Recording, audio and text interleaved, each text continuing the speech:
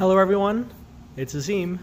We are looking at two different models of compact bone. Well, it's actually more than compact bone as we'll see. So let's take a look at this model first. What we're looking at, here's the outside of bone. Um, this is the periosteum, and the periosteum is actually made up of two separate layers. The very outside of periosteum, that's the fibrous protective part. It's dense regular. Think of this as a bone sheath. This inner layer of periosteum, this is an osteogenic layer. This is where you'd find osteoblasts, the ones that build bone. So here's our periosteum, protective outer layer, dense regular, growing inner layer with osteoblasts. All these circular, whole circular structures that you see, these are osteons. When you look at bone in a cross section, you can see osteons as circles. When you see bone in longitudinal section, they're more like columns. So it just depends on how we look at it. Because of this columnar arrangement, that means bone is great, this compact bone is great at, as, at uh, withstanding stress in this vertical direction, this longitudinal direction, but not great at withstanding stress in a perpendicular orthogonal direction. Each osteon at the center has blood vessels and nerves running through it. This hole, this hole is the central canal. You can see the central canal here too. You'll notice that there are a bunch of rings within one large osteon. Each ring is called a lamella. A lamella is made up of extracellular matrix, calcium phosphate, and collagen, and has cells, and these cells are osteocytes. So you find osteoblasts out in the periosteum or also in the endosteum, and we'll get to that later.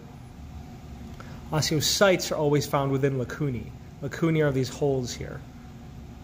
So you can see a lacuna with an osteocyte, lacuna with an osteocyte, lacuna with an osteocyte. There's a ton of them.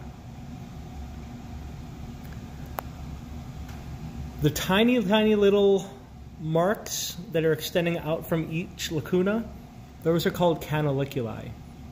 We have blood vessels running through each osteon in each center, but how do we get blood to each individual cell? These cells have to survive and get nourishment. The bone is way too dense for things to just diffuse through, so you need little canals, canaliculi, for blood vessels, tiny capillaries, to fit through. When we look at bone also in this cross section, we can see our central canal, but sometimes we see blood vessels and nerves running horizontally. If it's going horizontally, that's a perforating canal. Perforating canal.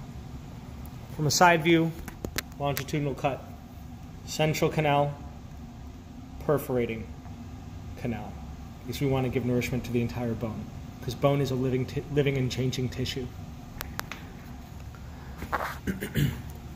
Periosteum, compact bone. Here's the beginning of spongy bone. You can see the trabeculae of spongy bone. You can see the osteocytes in their lacunae, surrounded by extracellular matrix. Just like here in compact bone, it's just organized in branches rather than all compact.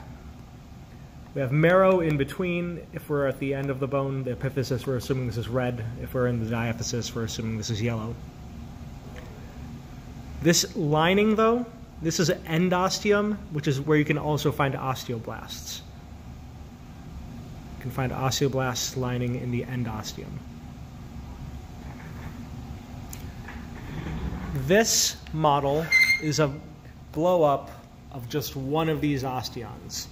So if this is one osteon, here's another single osteon, but bigger. So here's our central canal with blood vessels, nerves, lymph. Osteocytes within lacunae. I guess this is a lacuna because it's an actual physical hole.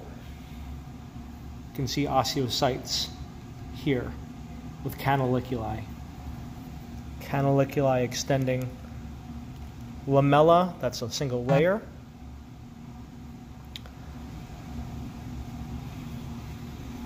central canal. There's no perforating canal in this one since it's um, only showing one osteon. But this is our cross-sectional view. This is our longitudinal view, showing the spaces, the lacunae, and showing the actual osteocytes filling those spaces.